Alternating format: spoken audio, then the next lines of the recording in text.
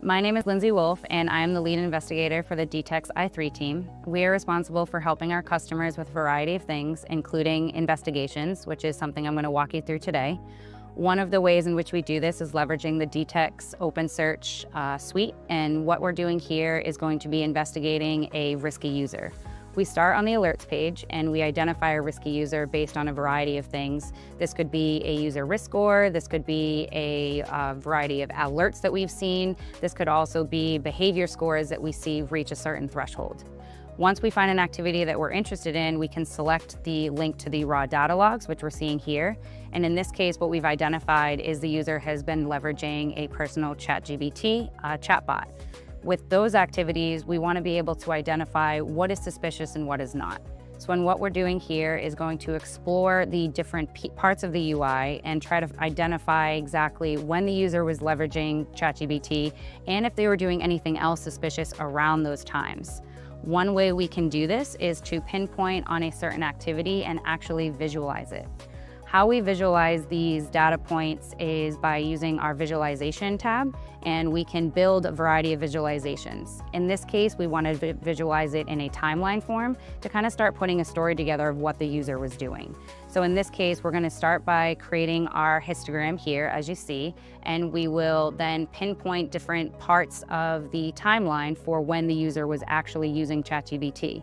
This shows us a spike in those activities, which is a great pivot point for us as an investigator to identify that these are when the suspicious activities occurred.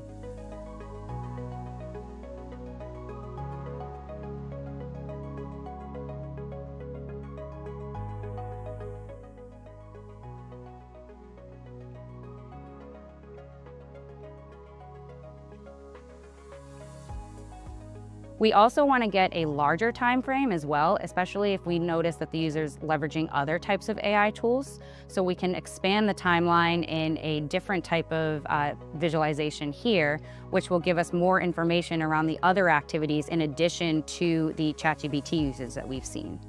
With both of these visualizations, we can save them and be able to add them to a dashboard. The dashboard is really where we can visualize everything all together and really put a timeline and a story together for the user. So we not only get access to both the data table visualizations, but we also have the raw data logs. So we can look at everything from one pane of glass and be able to identify other risky activities that the user has done. In this case, we've also noticed a variety of other AI tools. Sometimes you might identify a certain web search or you might look at other process executions that might be interesting.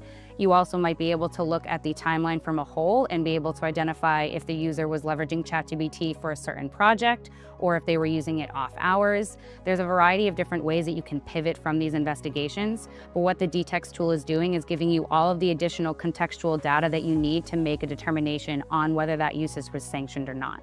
In this case, we've also been able to identify that the user was using an unapproved uh, AI tool called Skyvern. In this case, this also becomes very suspicious because this is a tool that is not approved and something that's outside of the normal AI tool usage for the rest of the organization. So because we've been able to visualize all of the DTEX activities or the user's activities within the DTEX dashboard, we're then able to see that and be able to pivot on that as well to be able to say, hey, this user is doing risky things.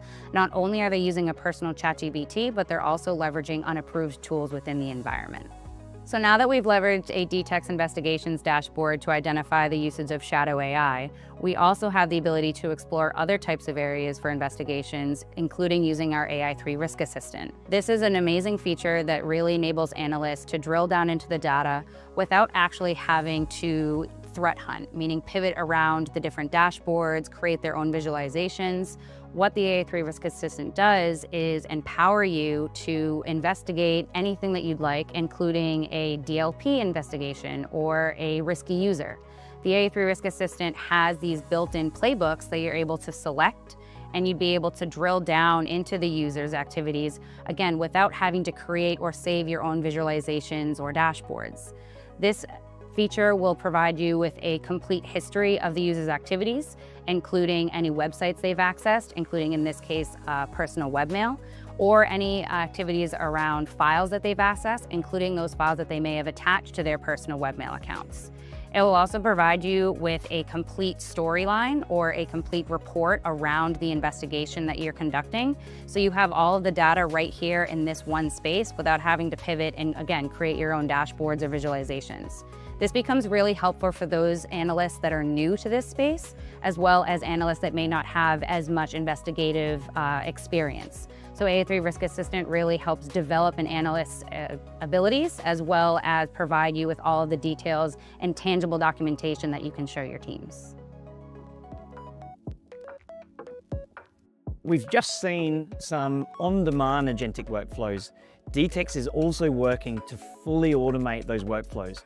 We've identified a few key investigation steps that we see in every organization. For example, when an individual hands in their resignation, we know that the investigation steps are consistent every single time. So why not use the LLM to help you run that investigation automatically, but have that be driven by uh, your HR solution? So for example, um, when that gets escalated to Workday or SAP SuccessFactors, you can use a DTEX MCP server to automatically run that investigation for you. There's a whole range of automations that are made possible through DTEX's up and coming MCP server, where the user interface may not be necessary if you're doing an automatic workflow that you know already exists. It's an extremely exciting time for automation and the ways that you can start to consume DTEX and our behavioral intelligence.